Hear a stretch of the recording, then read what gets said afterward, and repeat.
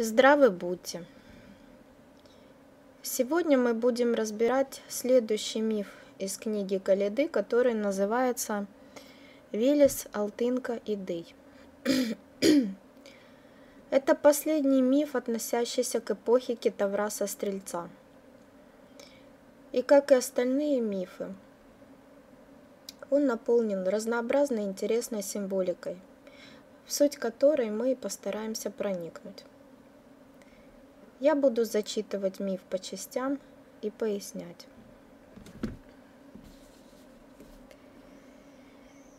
Когда шла до Дыя Седунича слава о родившемся Боге, о явившемся сыне Сурьи, рассердился, разлютовался Дый великий, властитель гор.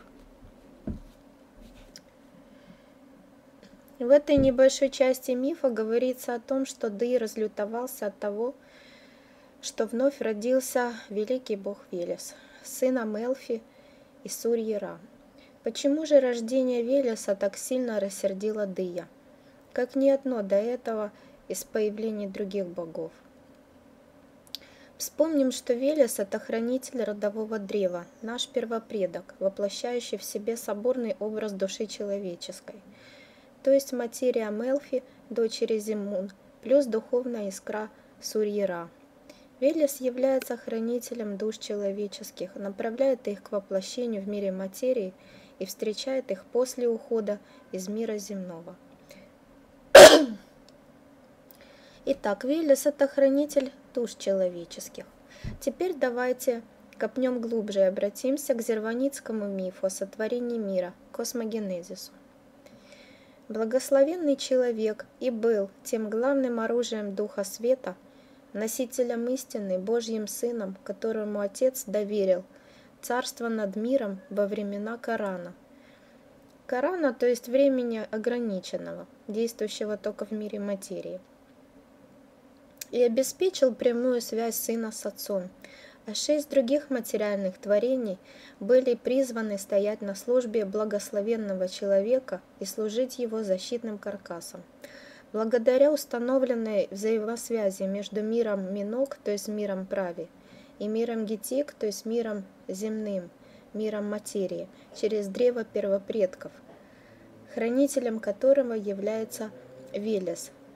При необходимости Амеша Спента или Язаты, Ясуни или Святые смогут обеспечивать дополнительной силой и помощью людей – которые будут происходить от Гаямарта. Гаямарт – это первый человек.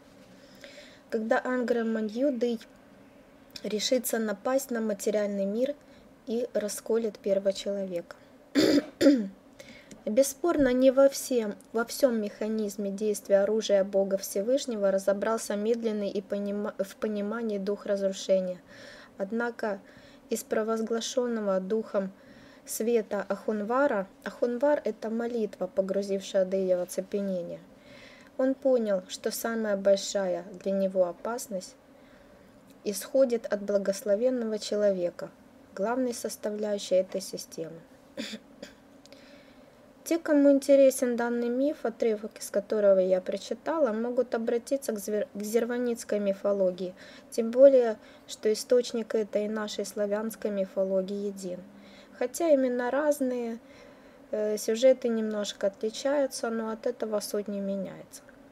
Из приведенных же отрывков становится ясным, что Ды ненавидит человека как творение, потому что Бог Всевышний доверил править в мире Яви именно своему сыну, творению, человеку, а не Дыю, который изначально мечтал стать творцом и правителем мира явного. А еще потому, что человек обладает оружием, уничтожающим тьму. Это благая мысль, благое слово и благое дело.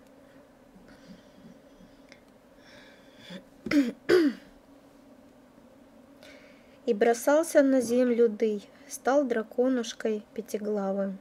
И одна глава пышет пламенем, а вторая глава свистит – третья плачет, затем хохочет, а четвертая та бормочет, рядом пятая та кричит. Долетел до гор он уральских, начал горушки те он палить огнем. Как дохнет огнем на поляны, так пылают травы муравы, и дохнет на реке с озерами, высыхают реки с озерами.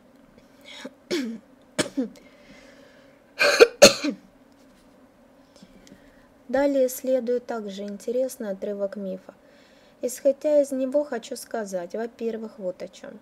В некоторых изданиях, описывающих верования славянских народов, их обряды, обычаи, их быт, говорится, что при сильной засухе, при пожарах люди думали, что это боги якобы насылают на них наказание за какую-то провинность. Позвольте, какие боги? О каких богах здесь идет речь? Я думаю, что не о наших светлых солнечных богах-ясунях.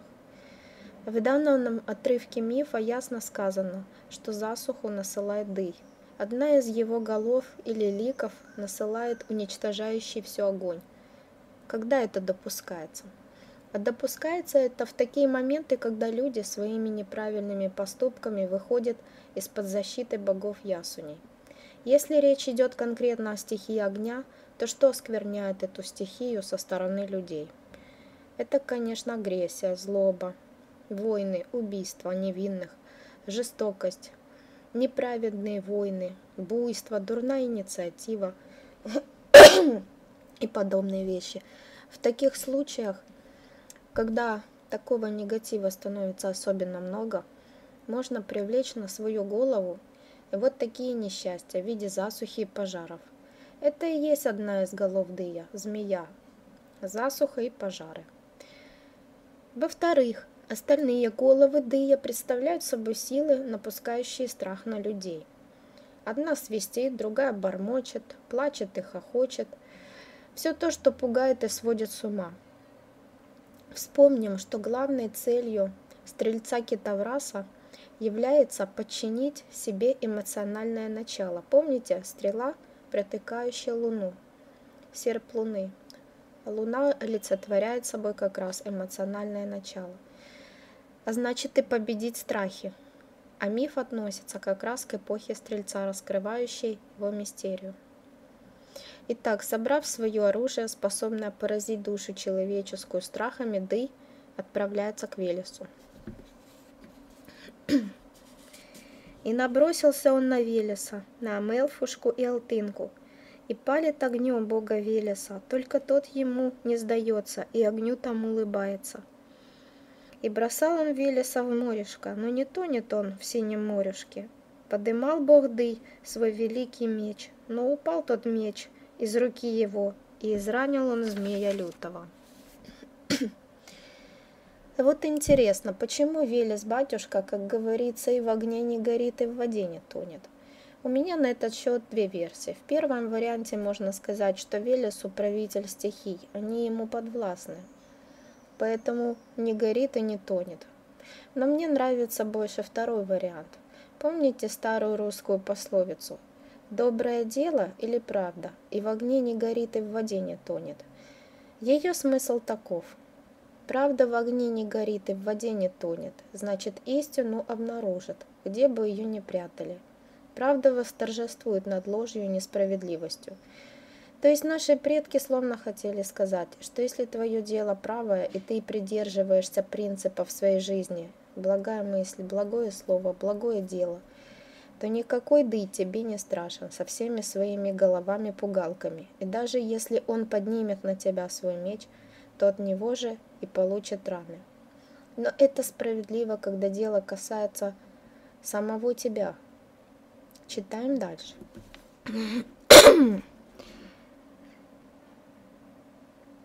Тут Сыдуни Синь, сын, призадумался и от Велеса отступился. И погнал от гор тех уральских его матушку и сестрицу, Амалфеюшку и Алтынку. И Амелфушка с Алтынкой обернулись в ярых туриц, побежали от гор Уральских, да к горышкам тем Алтайским, да к белой горе, к белой реке. Ой, да ты, мать белая горушка, ты от змеюшки нас укрой. Ой, да ты, мать белая речушка, дай спасение избавление. И запенились воды белые, и раскрылась горка белая, и укрыла она ярых туриц, Малфеюшку и Алтынку. В этой части мифа показано, что змей может действовать и по-иному, а именно, взять человека страхами через его близких людей. Дэй зашел со стороны матери Виллиса и его сестры. И вот тут Виллису понадобилась помощь, ибо Дэй разлучил его с его семьей, нагнав страх на женщин, на женское начало. Стал искать Амелфу с Алтынкой по горам, долинам сын Суревич. Обернулся он синим туром, и бродил он горными кряжами, и пришел к великой Азов горе, к горючему камню синему, и воскликнул тот Велес Сурич. «Помоги ко мне, синий камень, и ты, спящая дева камня, помоги, золотая баба». И раскрылся тот синий камень, и явилась на голос Бога золотая хозяйка гор. А вот тут интересный момент. Кто такое, такая золотая хозяйка Азов горы? Или золотая баба, как назвал ее Велес? Это понятно, что некая богиня, у которой Велес просит помощи. Однако, если мы вернемся назад к первоначальным мифам и вспомним миф под названием «Велес скрывается в Азов горе», то поймем, кто такая золотая баба. Итак, И раздался голос Всевышнего. Здесь раскрыта Азов гора, и Азовушка может выйти, только Велесу предстоит одолеть иные ворота и через многие поколения обрести второе рождение.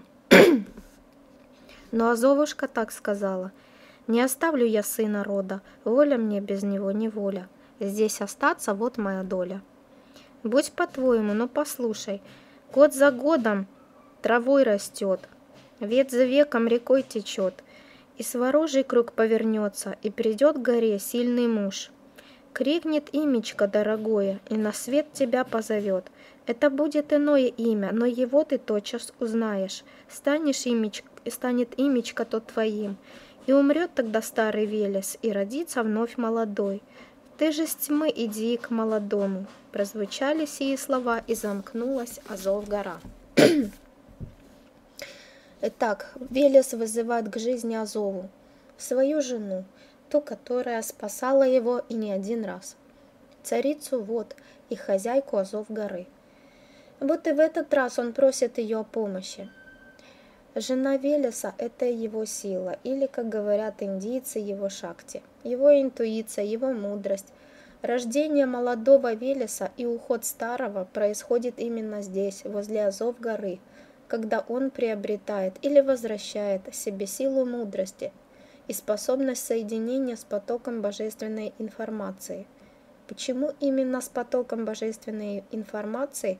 Потому что Азова э, связана символически с планетом. Нептун в астрологической традиции, царица вод. А Нептун в своих высших функциях как раз и дает, наделяет такими способностями – как соединение с потоком божественной информации. То есть молодой Велес приобретает те качества, э, проходит некое посвящение возле Азов горы, которыми он и должен обладать, как бог мудрости. Азов основа со своим Велесом. Э, что это значит? Значит, в каждом человеке скрыты такие способности. Такие способности, как э, ведать с большой буквы то, что нужно, и когда нужно. Именно ведать, а не знать.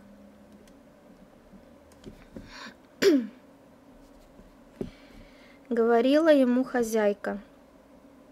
На высоком хребте Алтайском ты найдешь скалу золотую. На вершине золотой скалы там растет береза священная с листочками золотыми, а на той золотой березе там сидит золотая кукушка – у той золотой кукушки две волшебные головы. Голова одна Малфея, а вторая глава Алтынка. В этой части мифа звучит тема нескольких символов.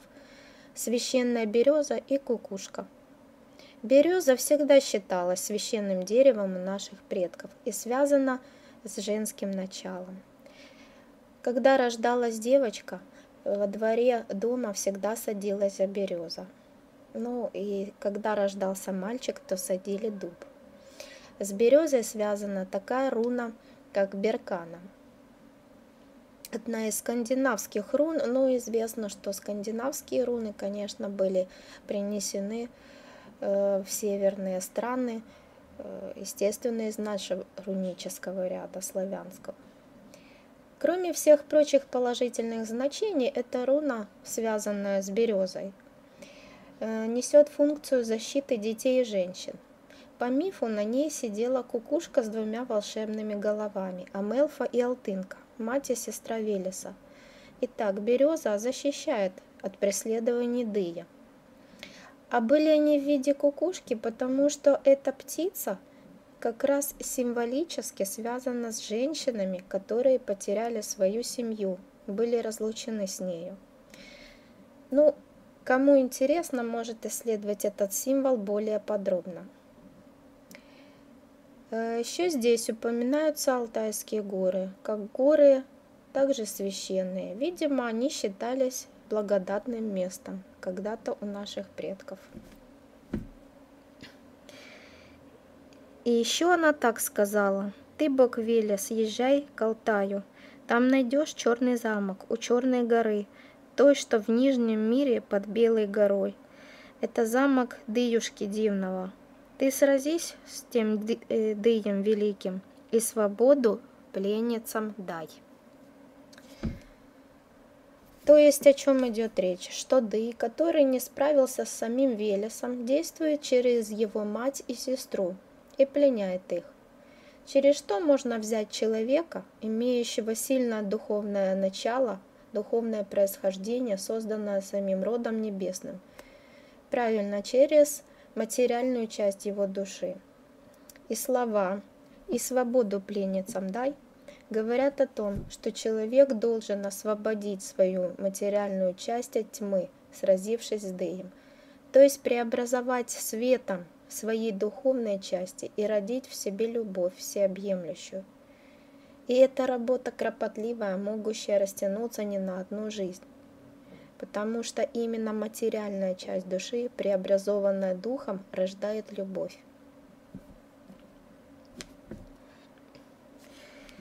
И дала молодому Велесу злата баба оружие дивное, что для старого Велеса выточил сто веков назад бог Сварог, и дала ковер-самолет, что в те годушки стародавние для него она соткала. И на том ковре-самолете в небо сине взвился Велес, и парил он птицу в тучах, и явился он словно молния в черных скалах пред замком Дыя.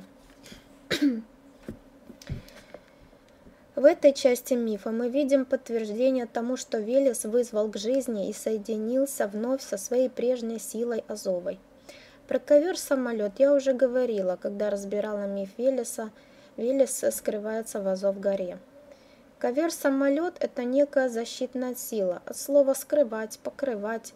Даже в английском языке слово «cover» означает «покрытие» с помощью которой возможна левитация и перемещение в пространстве. Кстати, Нептун в проявлении своих высших функций как раз дает сверхспособности. Но это только для тех, кто, э, кто преодолел иллюзию материальности. То есть Нептун, он же дает иллюзию, и он же дает Э, способности преодолевать иллюзию материальности, кто научился управлять своим физическим телом силой духа. Видимо, именно такое состояние Велеса описывается в мифе. Еще раз подчеркну, это доступно каждому человеку, но каждому в свое время. Потому что именно через э, мифы о Велесе раскрывается и мистерия происхождения души человеческой через все испытания и уроки в мире земном.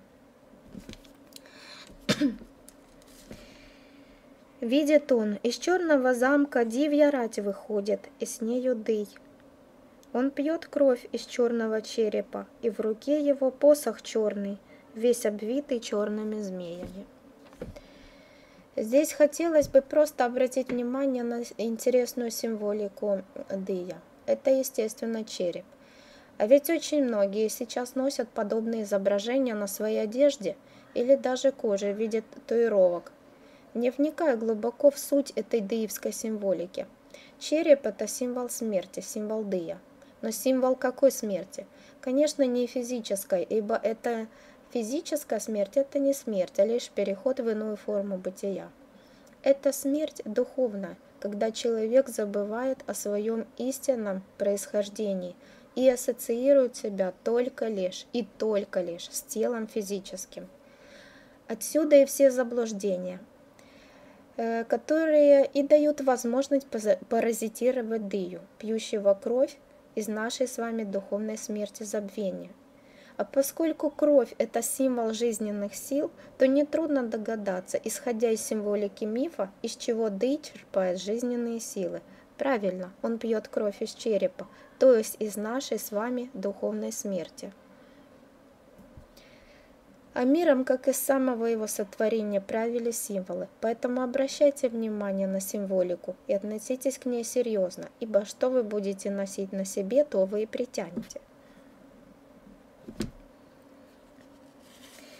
И вскричал тогда буйный Велес, «Выходи, черный тур, на бой!» Да и тогда козлом обернулся, черным турушкой длиннорогим. Синим туром, быком могучим, обернулся великий Велес, и сошлись они в чистом поле, стали биться и ратоваться, и побил козла синий бык, и не зверг он дыя на землю. Итак, сражение черного козла и синего тура. Как это можно понять более глубоко? Тем более, что черный козел назван здесь одновременно и черным туром, то есть также быком. Э, дело в том, что душа человеческая создана соединением некой первоначальной материи, Зимун или Амалфеи, и духовной частицы Сурьера, чистого разума Всевышнего. Эта первоначальная материя – является хранительницей истинных инстинктов, обеспечивающих выживание, продолжение жизни. Духовная же часть у тех, у кого она не заснула, воздействует таким образом, что материальная часть, пройдя определенный путь духовного опыта в виде нашей души, преобразуется в дух, обретая качество любви. Так рождается Творец. Это и есть синий бык, то есть бык небесный, то есть материя, бык, способная выносить и родить Творца. Ведь недаром знаком Тельца изначально управляло Солнце, то есть дух в астрологической традиции. Что же такое черный тур или козел? Это материя камня, гор, связана символически со знаком Козерога, лишенная духовного начала или ясного разума, ибо Ды так и не смог стать Творцом, подобно нашему Создателю. Недаром знаком Козерога изначально управлял Юпитер. А Юпитер – это и есть огромный газовый гигант, которому не хватило немного до массы звезды, чтобы началась ядерная реакция. Поэтому Дэй вне вечности и выживает только за счет паразитирования на душах человеческих, когда мы проходим состояние духовной смерти. В мифе описана борьба двух материй – небесной, имеющей духовную составляющую, стремящуюся к соединению с духовным началом, синий бык, и каменной, не имеющей духовного начала, но стремящейся поработить, черный бык. И, видимо, только в такой борьбе душа человеческая возвращает себе заснувшие качества чада Божьего, а не чада Дыева. Ведь без этого дальнейшее развитие невозможно. Тут пред Велесом появилась черная козочка Дива Деевна, и она воскликнула громко. «Буйный Велес, не трогай батюшку, отпусти-ка сына Сыдуни». Ибо к Велесу слышал Диву, и склонился он перед ней, отпустил он дыюшку черного, и прогнал его с гор алтайских. И пришел синий тур к белой горушке, да к той святой белой речушке. Тут пред синим туром явилась золотая хозяйка гор и ударила по горе.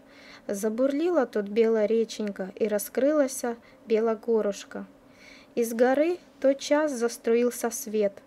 Из среды огня золотого, из раскрывшейся белой горки Амалфея с Алтынкой вышли. И сияет Алтынка солнцем, и чиста она, как луна, а Мелфа, как небо звездное, сияет она стажарами.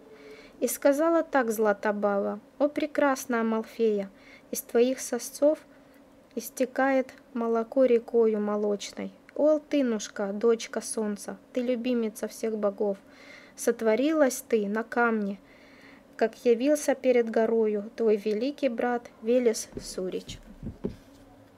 Итак, в этой части мифа мы видим очистившихся от страхов Амалфею Элтынку, мать и сестру Велеса, освобожденные от плена, куда их загнал Дый. Иными словами, это преображение материи души в иное качество после сражения с Дыем. Она светилась солнцем или духом, если переводить с языка символов. Как в мифе написано, и сияет она как солнце. Также, исходя из символики, мы видим, что Амалфея сияет стажарами. Что такое стажары? Вот сведения, взятые из словаря. Стажары или плеяды – тесная группа звезд в созвездии Тельца. Состоит из семи звезд, видимых невооруженным глазом. При остром зрении можно рассмотреть даже 10 и более 2000 телескопических. Иногда стажарами называют также созвездия Большой и Малой Медведицы вместе с полярной звездой, являющейся стажаром, вокруг которого вращаются остальные звезды. Здесь уместно как то, так и другое, как созвездие Тельца, так и созвездие обоих Медведиц. После освобождения от власти Дея материя Амелфи, Амелфи была преобразована в звезды. И это путь души, ну а Мелфа – это и мать Велеса, значит, родиной хранителя нашего родового древа Велеса можно считать созвездие Малой и Большой Медведицы, о чем уже упоминалось ранее в предыдущих мифах. Оттуда и пошел наш род. Алтынка, сестра Велеса, описана в мифологическом словаре как дух Алтайских гор. Как сказала золотая баба, сотворялась ты на камне, как явился перед горою твой великий брат Велес Суревич.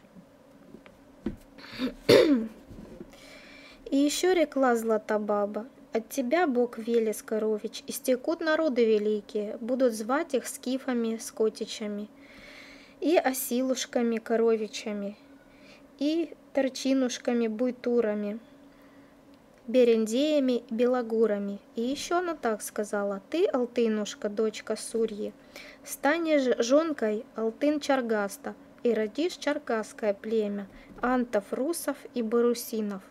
И отныне все славят Велеса, Амалфеюшку и Алтынку.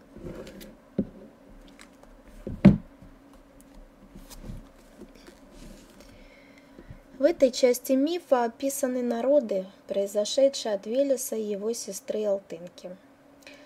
То есть Алтайский край можно считать родиной черкасских племен антов, русов и бурусинов, а отцом скифских племен берендеев, белогоров, племен скотоводческих является Велес. Душа Велеса и Алтынки воплощены в потомках этих народов, а сами народы являются родственными, потому что Велес и Алтынка – это брат и сестра. На самом деле, я так понимаю, что первопредков у белой европейской расы существует несколько, однако все мы объединены общим родовым древом. То есть наши первопредки являются братьями и сестрами или родственниками из одной большой семьи богов Ясуней. А вообще, если смотреть шире, вот в зерванизме, например, сакральном учении персидских магов, говорится о 16 первоначальных расах, о 16 первопредках фравашей людей, которых создал Господь, спустившиеся в материю, чтобы приобрести прививку от дыя, от зла. Некоторые из первопредков впоследствии примкнули к нему же – Однако большинство осталось верными своему Создателю. В книге же Калиды рассказывается о первопредках конкретно славяно-арийских народов. а теперь подведем общий итог. Это миф, повествующий о ловушке Дыя, а конкретно о том, чем он может пугать, пытаясь заставить человека приступить закон Бога. Миф связан с эпохой Стрельца, мистерия символика которого говорит нам о том, как важно подчинить разуму эмоциональное начало и преодолеть страхи душевные. Велес боится не за себя, а за своих родных, и страх этот основан на разлуке с ними, на потере родственных связей. Замечу, что это не значит, что забота о близких и переживание за них – это плохо. То дело в другом, а именно, когда Дый пытается заставить человека приступить закон Божий, действуя через страх за семью. Это на самом деле непростая ситуация в жизни. Но такие ситуации человек притягивает к себе не просто так, ибо на все есть причина.